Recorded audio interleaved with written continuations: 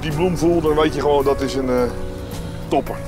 Kogelhard, houdbare tulp zeg ik. Wat heb je hier nou voor gekregen?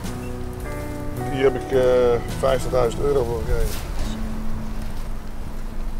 Maar dat is een hoop geld. Eh, je, je koopt ook weer dingen, dus ja, de, winkel gaat even wat rond. Dus, dus hier op 4 meter staat 50.000 euro. Ja.